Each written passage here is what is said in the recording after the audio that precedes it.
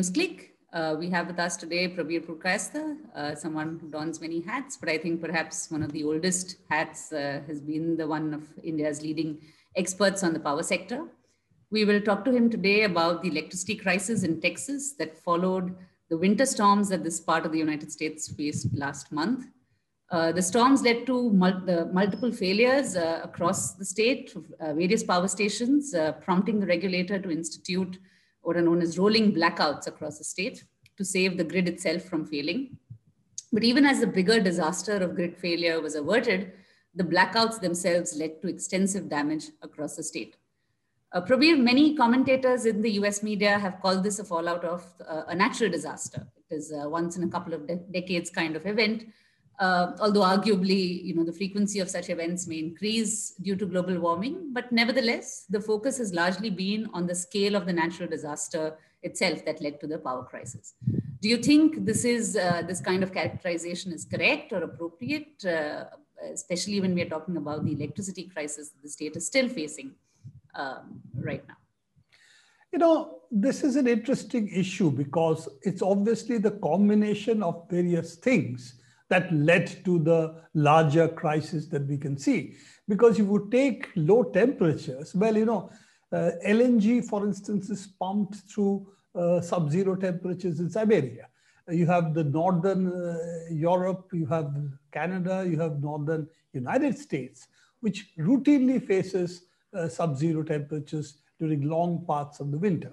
So by itself, that doesn't stop a grid from functioning or the power utilities from functioning. So obviously there is something else which also led to the, the grid coming to a near collapse and also not only rolling block uh, uh, blackouts as they have been characterized, but also the economic dislocation which took place subsequently, combined with the fact that you know electricity being a fundamental necessity, the temperatures meant people were near freezing and there you had no heat. Because of the gas failure, because even the natural gas pipelines froze, the pumping stations stopped working, you also did not provide alternate ways of heating the houses. So you had that, and a lot of people, in fact, dozens of people have died in Texas because of that, or due to carbon monoxide poisoning. They went and sat in their cars, and as you know, then you can get uh, to a rise of carbon monoxide poisoning because of that. Also, the, the, the utilities, for instance, the municipal water systems uh, supplies. Uh, there's a notice 8.7 million uh, Californians have been asked now to boil their water.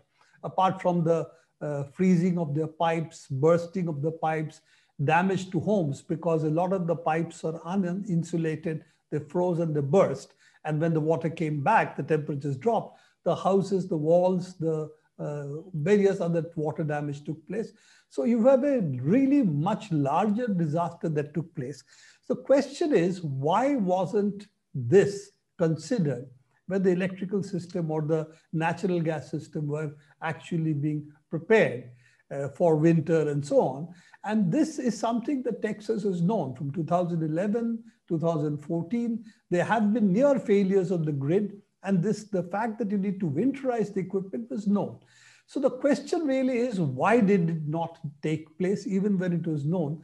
And the answer really lies in the question that you have given, that is it because of the kind of regulatory system that was there in Texas? And this is something that, as we said, we already know that Texas has had earlier near failures of this kind, once in 2011, 2014.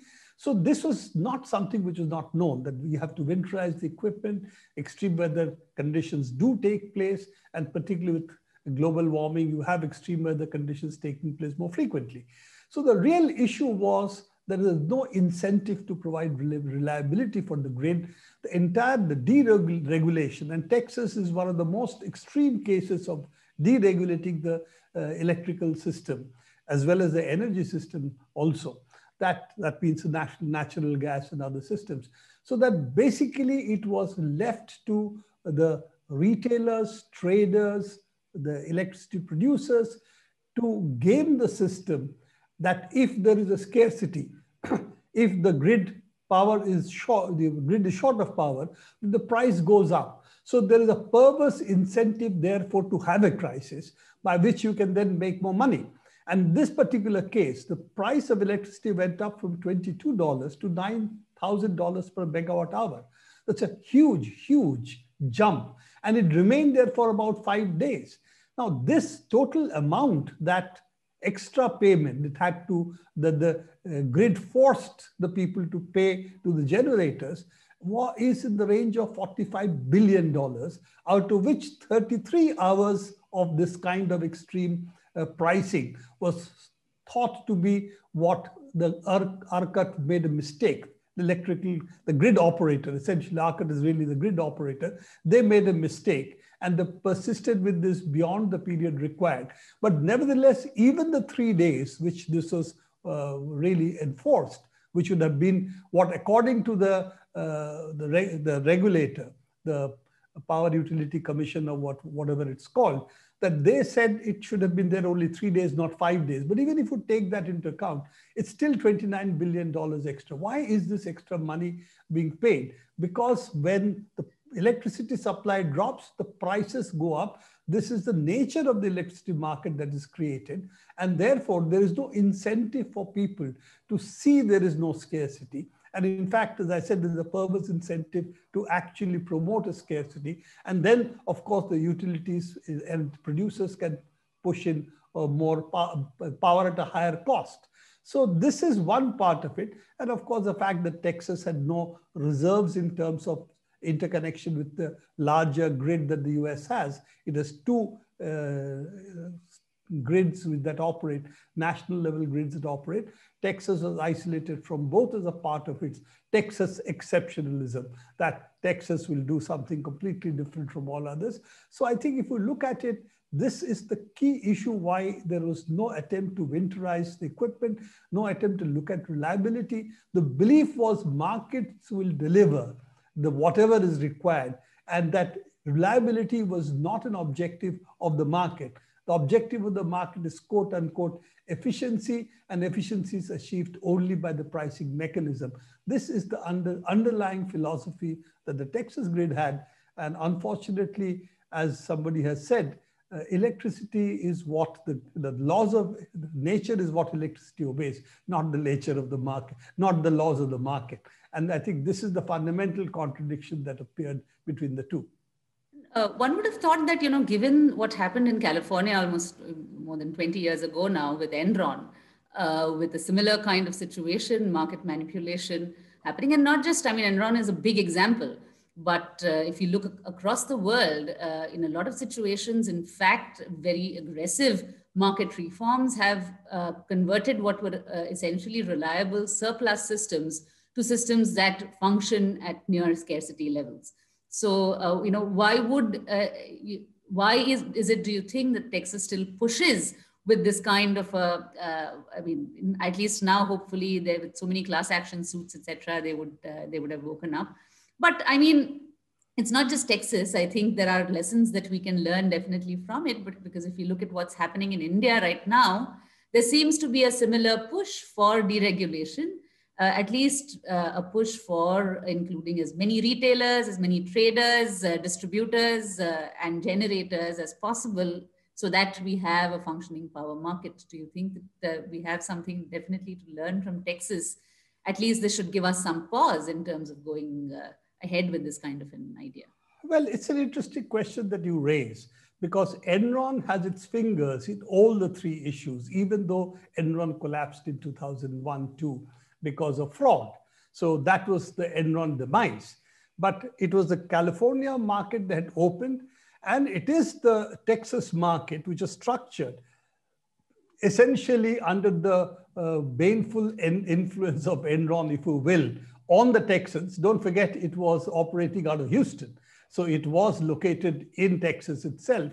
And they were the ones who pushed the, this, the blueprint for the Texas reforms as well as what they had pushed in California.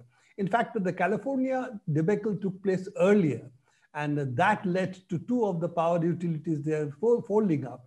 that actually gave pause to the larger US deregulatory processes. And most of the states, in fact, the two major grids, did not follow in the footsteps of California, taking that as an example of what not to do. But unfortunately, Texas really did not follow that. And Texas went to extreme deregulation. Now, there are two interesting things in Texas itself. One is, of course, what is already unfolded, that it, there is reliability is nobody's baby. So that, and effectively, the price mechanism does not build reliability into the system. It's an externality that has to be built into the system. Otherwise, it's a necessity. And electricity is a necessity. Everything collapses if electricity is not available. And that's a, something which is a part of the social contract that the state has to look after. But if we leave that out, and the, the part that I think becomes important is Texans, did they actually benefit, benefit from deregulation by actually paying less price? And there's a Wall Street Journal uh, article which details that actually Texans paid, pay, paid $28 billion more than what the regulated utilities charged their consumers. So the unregulated Texan market forced the consumers to pay $28 billion in the last 20 odd years than what the regulated utilities, and there are regulated utilities still in uh, Texas which are there, what they charge to their consumers. So even deregulation did not help. And Texas is also very lucky in having really well endowed energy resources. Wind is plentiful, sun is plentiful, it has natural gas in large quantities. So these are the, you know, this is, uh, this is all there in abundance. So they benefited from being close to the gas uh, reserves. Of course, they had the reverse problem. They had no storage because you could always pull it out of the ground. So if that stopped because of freezing and so on, they had really no reserves for the utilities. So, but apart from that, Texans actually did not benefit from deregulation. So if they paid $28 billion in excess, who got this money? And the answer is obvious. It is the utilities, it is the traders, it is the other people who are gaming the market who got the benefit. And if you look at, for instance, the ERCOT board, then you will find they're heavily loaded in favor of the producers and the electricity utilities, as well as, of course, the traders. But it had only one residential consumer on this board, as opposed to six from the others, eight if you include alternates. So it's a heavily skewed in favor of those who had a who actually made the money. When you talk about Enron in India, if you remember that this whole IPP and opening up the power market, of course, Enron was one of the uh, pushers. But let's not forget, this starts from actually Maggie Thatcher. And if you take a step back, it really goes back to Chile, where the Chicago boys of Milton Friedman actually structured this whole theory of power being a market. And how could power become a market? If you unbundled the electricity uh, companies, made the grid the something which was sort of owned by the state or heavily regulated. It, but the distributors and the generators would play in this market, and there also would be retail electricity operators who would be just traders. So you created what I would call a regulatory market. There's no real market in electricity because you don't have storage. Anything that you produce has to be used immediately. If you are short, the grid will sink. If you are surplus of electricity, grid will again sink. So because it has to be continuously in balance, this is a market which is artificially created by rules of the game that the regulators write. And unfortunately, this is not helping the consumers. We have what you raised in India, that what is happening. Yes, because of Enron collapse, there was some breaking of the system. All those IPPs which had promised the earth did not deliver. All that happened. But nevertheless, the reforms of unbundling have continued. And unfortunately, the central government is the largest owner of IPP in the country. NTPC is really an independent power producer, while all the distribution is with the state governments. So therefore, the policies are further skewed in, in favor of the producers against the distribution companies and also for the traders, again, against the distribution companies. And finally, the, the state governments who have to subsidize the distribution companies because they cannot pass the burden of high cost electricity on the consumer.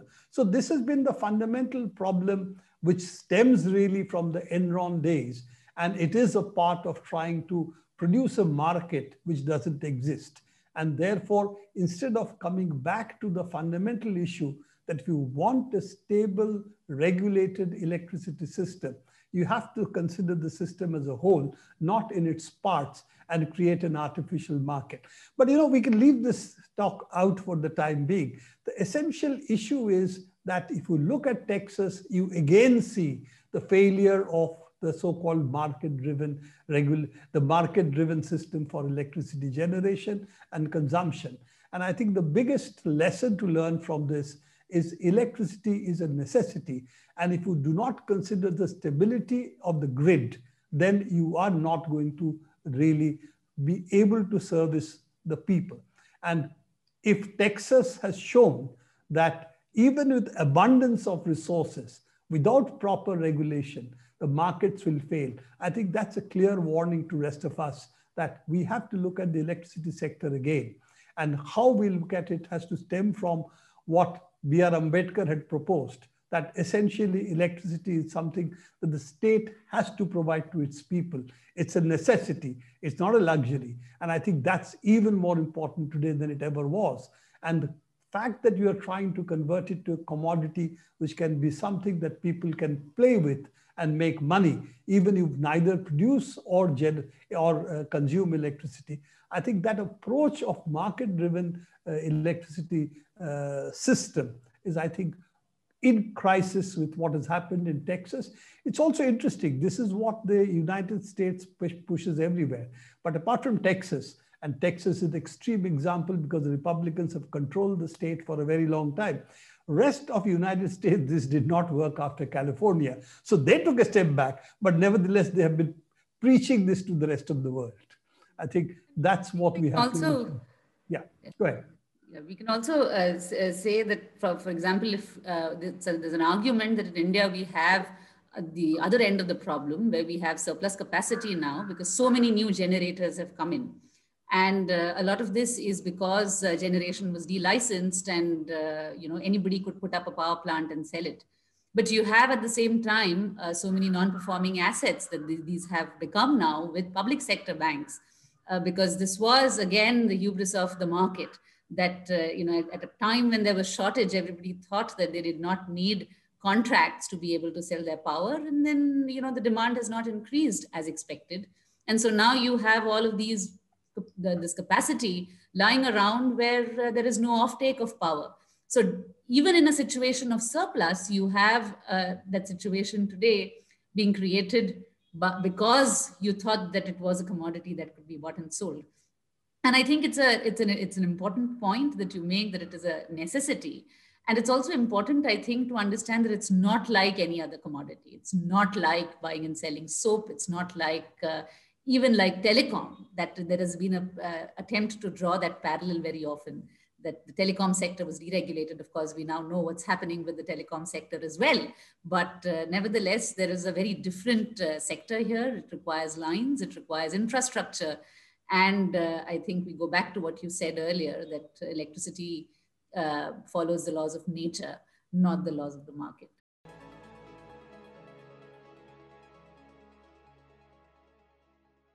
you